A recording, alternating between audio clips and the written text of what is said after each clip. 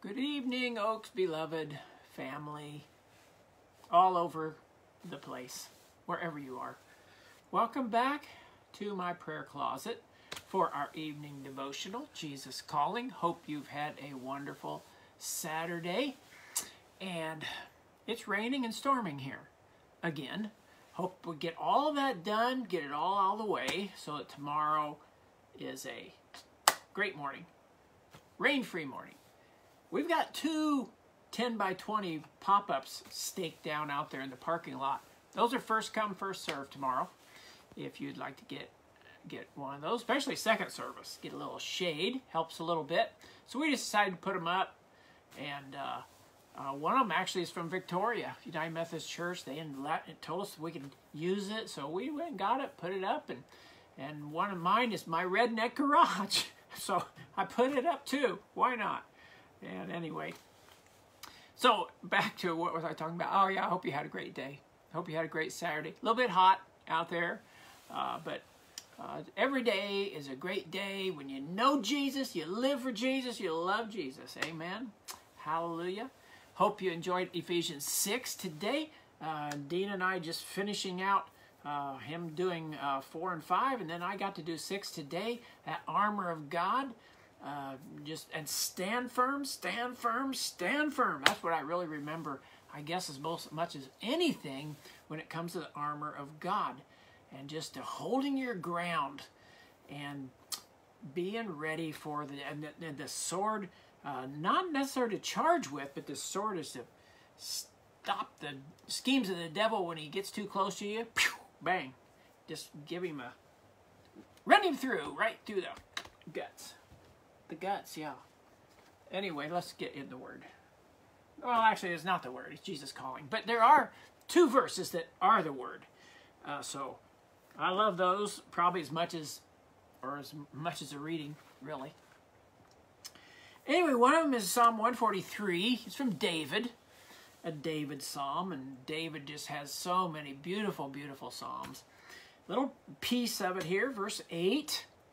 Let the morning bring me word of your unfailing love, for I put my trust in you. Show me the way I should go, for to you I lift up my soul. I love that because David a few times talks about meditating on the Lord even in his sleep.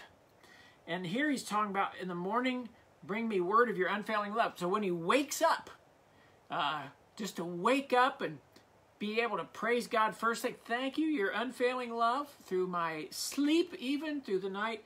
Ah, I pray for that for all of us, especially as the night comes along here, the evening, the day is winding down uh, just preparing to sleep in Him and experience, wake in the morning to His unfailing love once again. Amen. Put your trust in Him. Genesis 28 and 15. You've got to have some background on this one rather than just read the verse. This is Jacob. Jacob is taking off, uh, fleeing uh, from Esau.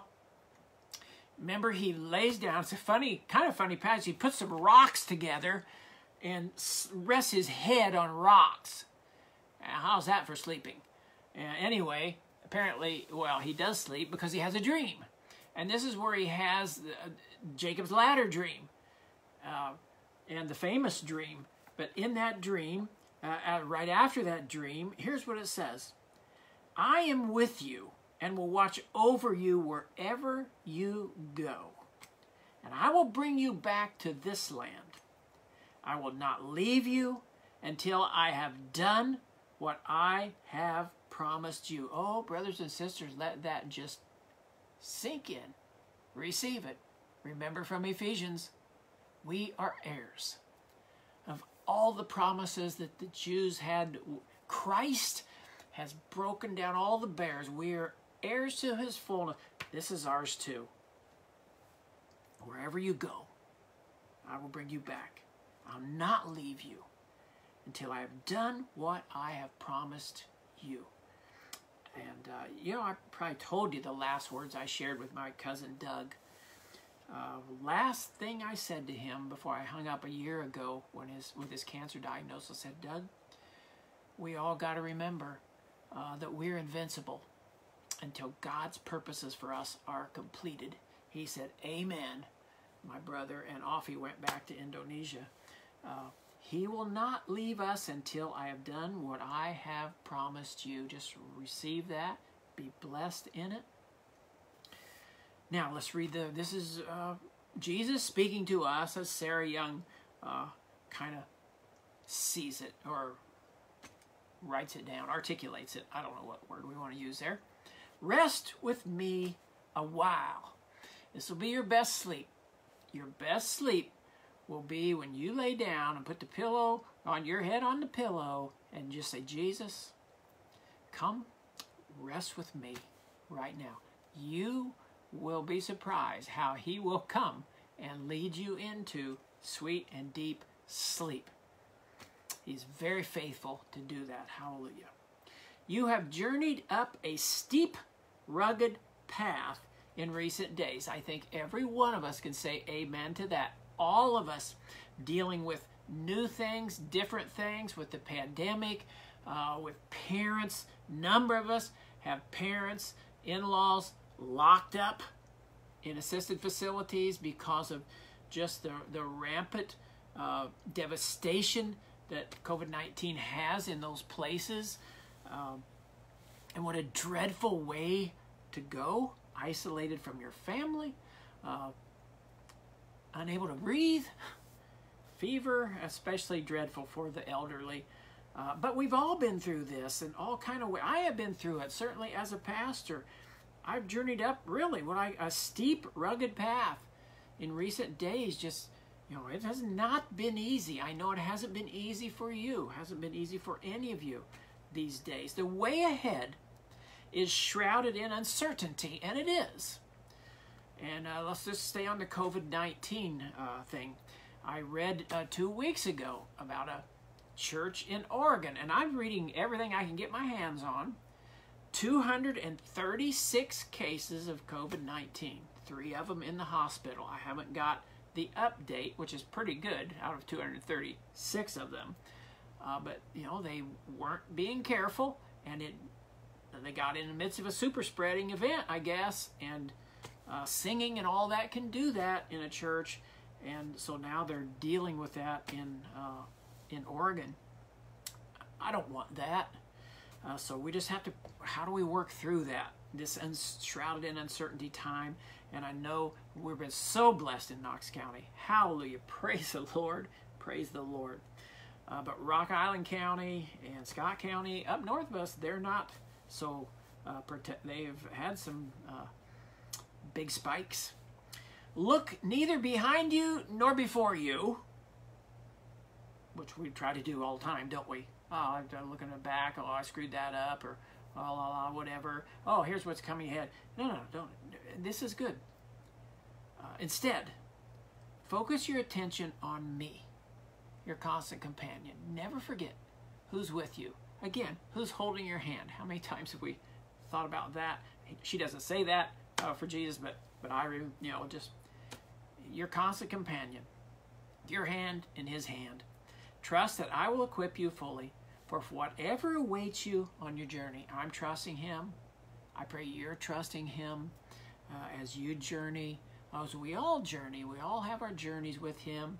And some places we intersect and they're common, but other places we're, you know, we got to do this kind of ourself or maybe with just certain immediate family members, whatever the situation. There's all kinds of them. Some of them are really tough.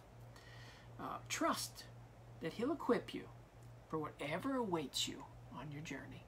Just rest in that. I designed time to be a protection for you. You couldn't bear to see all your life at once, could you? I don't think so. Uh, sometimes I wonder, well, you don't know. Praise God you don't, but think, wow, if I knew everything that this was going to involve, I'm not sure I would do that. I'm not sure I would go that direction, right? And all of us are getting old. Boy, luckily we don't see ahead with what the getting old part is about. Uh, all of a sudden, you know, my joints don't work like they used to. You know, I took down some trees here at the house. I, I'm, I'm shot. I, I worked on those for three or four days, carrying trees, stumps, logs, piling brush, and all of a sudden, about three days later, I'm done. Now, when I was younger, I could do that every day, seven days a week. I could do it. I can't anymore.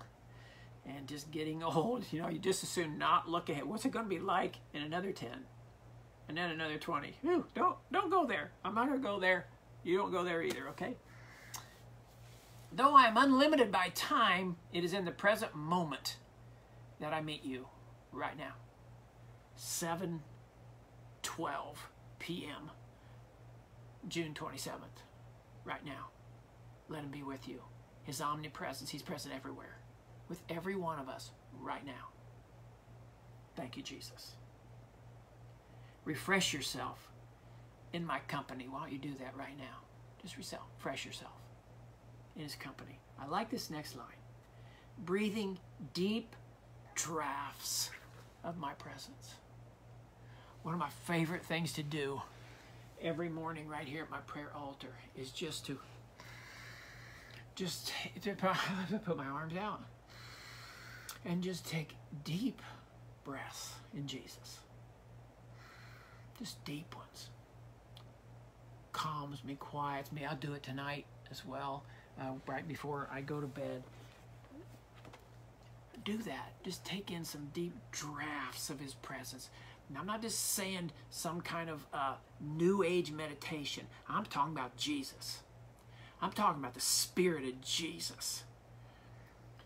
Letting it in, taking deep drafts of Jesus, the Spirit of Jesus. The highest level of trust is to enjoy me moment by moment. Dean and I had a meeting this morning, and uh, he's doing a course for credit and seminary, and I'm his mentor, and he's my mentee, and so it's we're you know we reflect on some certain areas and goals that he has set for the class and for uh, working at the Oaks and uh, just different other reflections that he has to have.